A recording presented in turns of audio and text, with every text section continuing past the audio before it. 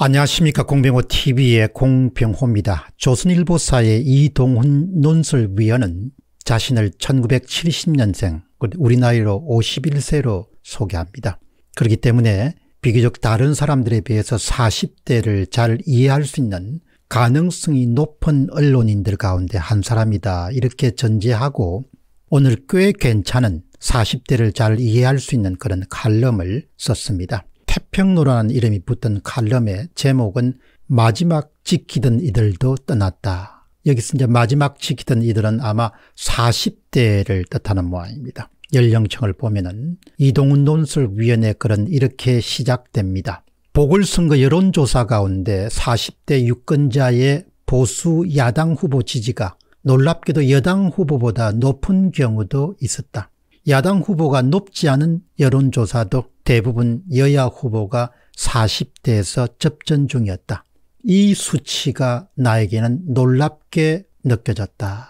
기자는 1970년생이다. 70년대생들이 주축인 40대 정서를 비교적 잘 안다고 생각한다. 70년대생들은 민주화 이후에 1990년대에 대학을 다녔다. 80년대 학번은 민주주의를 외쳤지만 90년대 학번들은 선배들 덕에 혁명과 진보를 외쳤다. 민주화 이후에 분물을 이룬 사회주의 서적을 탐독하며 대학 시절 보낸 이들이 적지 않다. 법 공부를 하겠다고 책을 샀더니 유물 변정법이란 농담이 농담이 아닌 시절이었다. 1960년대생들은 난소공을 읽으면서 우회했지만 적지 않은 70년대생들은 마르커스 레닌과 김일성 저작선을 읽으며 바로 내달렸다. 80년대 대학가 학장실 벽에는 민주주의 만세 독재 타도가 씌어 있었다면 90년생들에게는 반제, 반독점, 민중, 민주주의 혁명 만세가 써여 있었다. 70년생들은 부조리한 세상에 맞서 도상일전정 혁명을 꿈꿨다.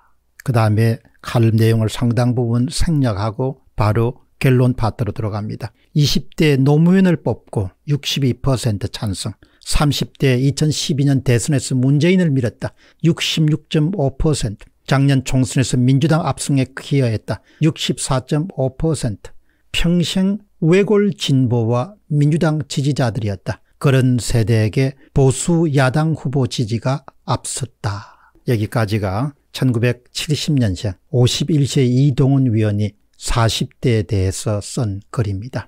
제가 40대가 대학을 다녔던 1990년대에 이제 공부를 모두 마치고 30대에 결혼을 해서 연구소에 재직하던 그런 시기였고 1997년도에 지금의 재단법인 자유기업인이라는 조직을 만들었습니다. 제가 40대를 맞았던 데가 2000년이고 조직을 떠나서 이제 혼자서 이제 활동을 시작했던 시기입니다. 당시에 아주 젊은 아버지였던 나라는 사람은 40대에 어떤 생각을 했을까 그런 점을 이동훈 논술위원회 글을 읽으면서 한번 생각을 해봤습니다. 우선 떠오르는 것은 자식들에게 더 나은 교육 기회를 어떻게 제공할 수 있을 것인가 이런 생각을 많이 했던 것 같습니다.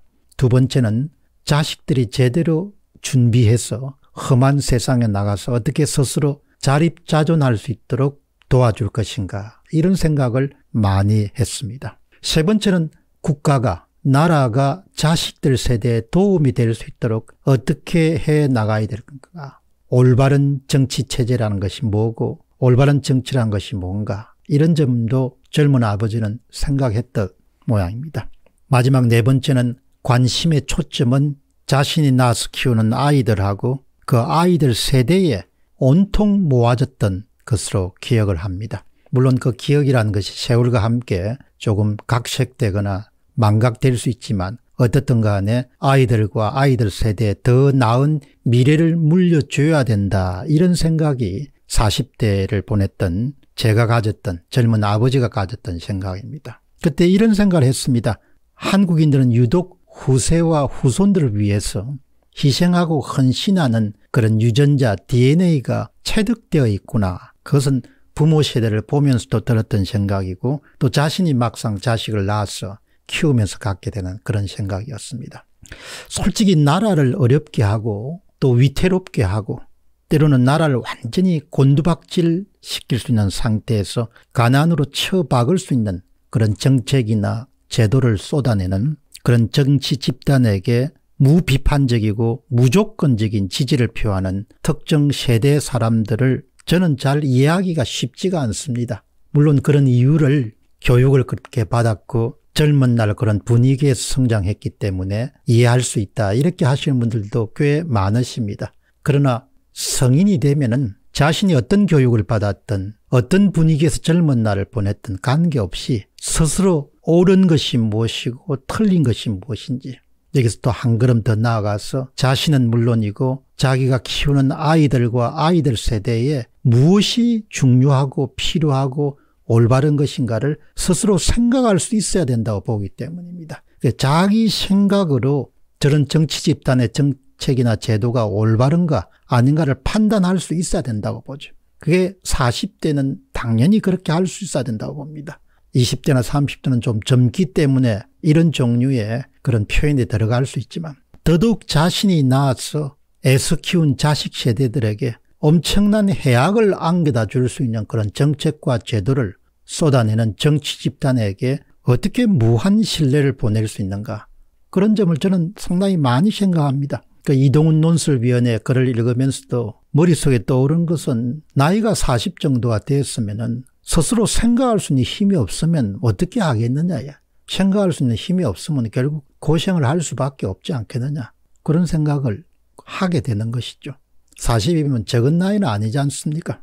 저는 특정 세대가 특정 정치 집단에게 무한 찬사나 무한 신뢰를 보내는 것에 대해서 그것이 뭐 본인들이 스스로 생각해서 그렇게 판단하고 내린 결정이라면 뭐 또 받아들일 수밖에 없겠죠. 그러나 자기가 가장 많은 그런 자원을 쏟아부어가 키우는 자기가 사랑하는 자식들 세대에 어떤 종류의 그림자를 들이울 것을 뻔히 알면서도 젊은 날 받았던 교육 때문에 또 분위기 때문에 지금까지 그렇게 해왔기 때문에 그런 지지를 보낸다. 이거는 참 이해하기가 쉽지가 않는 것이죠. 오늘 이동훈 논술위원을 여러분에 그 소개하는 것은 제가 보낸 40대는 자식의 앞날에 대해서 또 자식 세대의 앞날에 대해서 어떻게 하면 좀 더 도움이 될 수 있을까? 도움이 되는 부모가 될 수 있을까? 또 도움이 될 수 있는 그런 부모 세대가 돼야 되는가? 이런 부분에 제가 보낸 40대는 상당히 많은 그런 관심을 가졌던 것 같은데 지금 세대는 그렇지 않은가라는 점을 한 번 더 생각하는 것이죠.